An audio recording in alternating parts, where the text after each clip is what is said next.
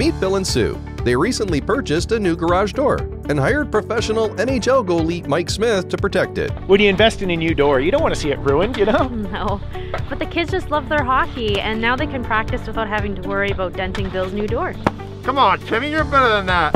Uh-uh, not here. Oh my goodness, that was sick. It's not just pucks, though, right? we had that heck of a windstorm last week, and he really came through. Mm-hmm.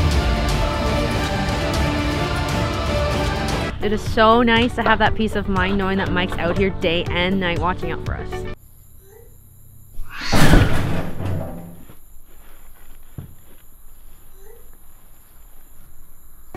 Sure, it's expensive, but Mike is just so good with the kids, you know? I mean, really makes the whole investment worth it. Hey neighbor, check out the new LINE-X door. No dents.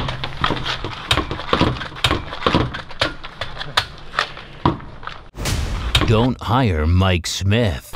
LINE-X it. Timmy, get inside.